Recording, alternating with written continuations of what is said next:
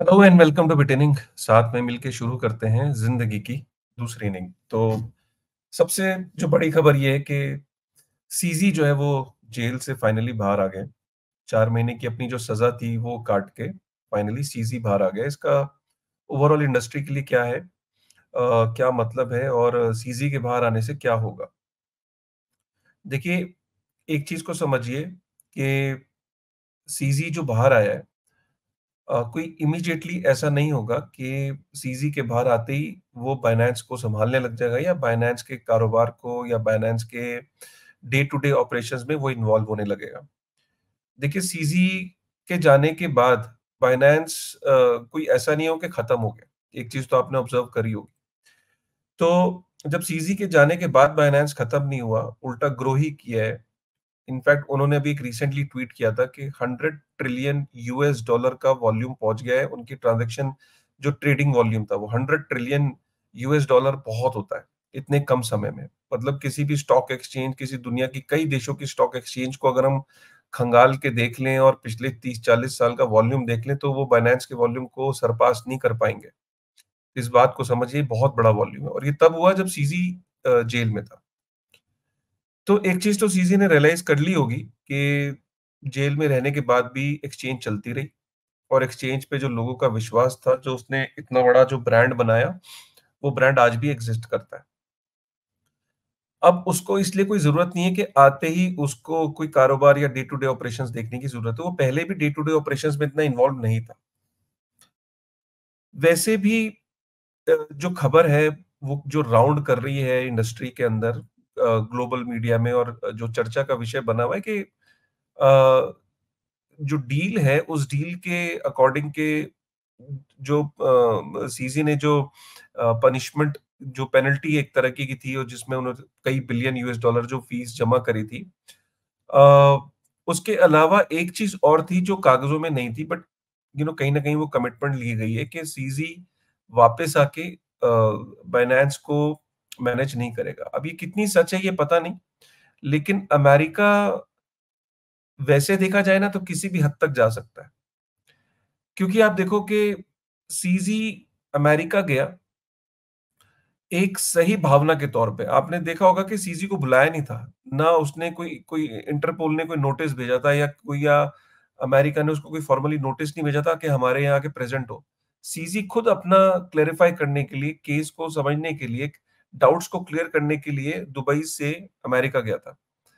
और वहाँ जाके जब वो गया तो अमेरिका ने उसको धर लिया, उसने बोला, इसका पासपोर्ट रखो, इसको रखो, केस फास्ट ट्रैक पे डालो। और फास्ट ट्रैक पे केस भी डाला चार पाँच बिलियन यूएस डॉलर भी ले लिए और उसको जेल भी कर दी चार महीने की।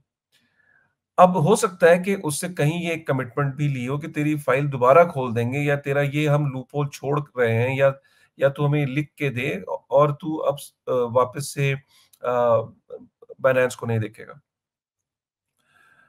सीजी ने भी कहीं ना कहीं इंटेंट अपनी ज़ाहिर की थी, जो पुराने ट्वीट्स हैं, उसमें कि now he want to work more on educational side not in crypto overall उसको ये लगता है कि दुनिया में अभी भी बहुत सारे बच्चे हैं जिनके पास एजुकेशन नहीं है और एजुकेशन का मतलब सिर्फ़ अब ये नहीं है कि आपकी क्लासरूम होनी चाहिए, एजुकेशन अब एक डिजिटल फॉर्म में ऑनलाइन तरीके से एक गेमिफाई करके बच्चों को एजुकेशन एजुकेट किया जा सकता है। जहाँ जहाँ एजुकेशन है नहीं और एजुकेशन वैसे भी इन्फ्लेशन के कारण इतनी महँगी होती चली जा रही है कि कई बच्चे स्कूल से ड्रॉप आउट हो रहे हैं और कई डेवलपिंग कंट्रीज़ हैं, कई अफ्रीकन कंट्रीज़ जहाँ स्कूल ही नहीं है।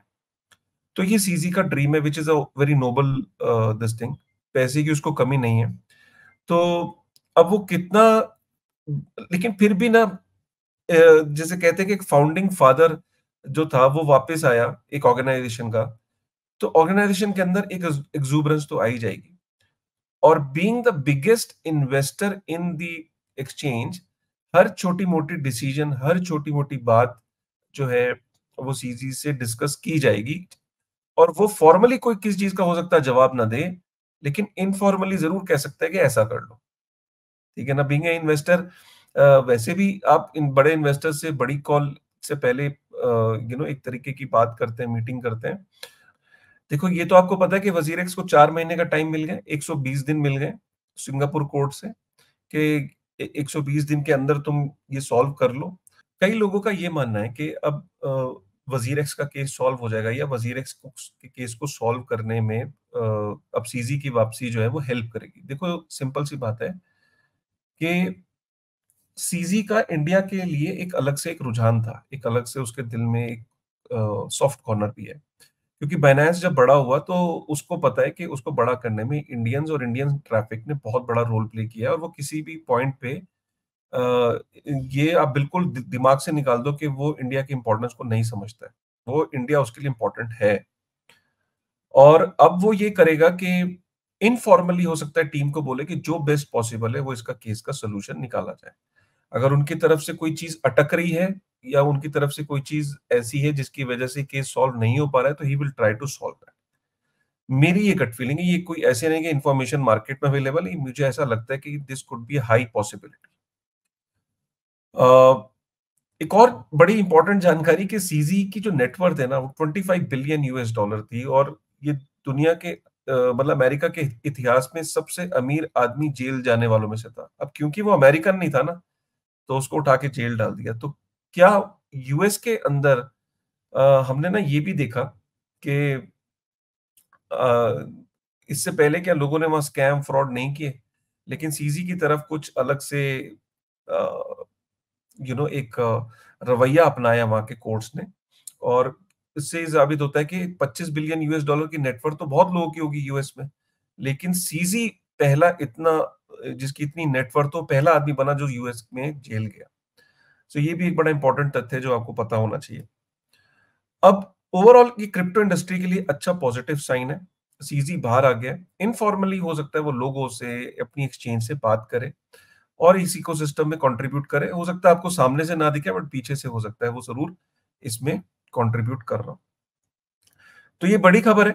मुझे लगा कि एक बारी सीजी के वापस आने से जो लोगों का सवाल है लोगों के दिल में चल रहा होगा कि यार, क्या वज़ीर एक्स का, वज़ीर एक्स का केस मुझे ऐसा लगता है informally he will definitely do things आपको सामने से शायद ना दिखे बट इन तीन चार महीनों में कुछ ना कुछ होना चाहिए कि बाइनेंस और एटलीस्ट बाइनेंस और वज़ीर एक्स का केस तो सॉल्व होना ही चाहिए।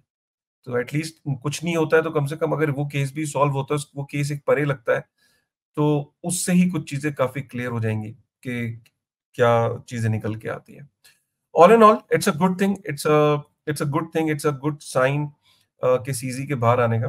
तो आपको क्या लगता है कि सीजी बाइनेंस को पूरा आप देखना शुरू करेगा, नहीं देखेगा, वापसी करेगा, नहीं करेगा एक्शन में वापस आएगा, नहीं आएगा, एक बार कमेंट करके आप ज़रूर बताइए ठीक है ना? चलिए with this thought thank you very much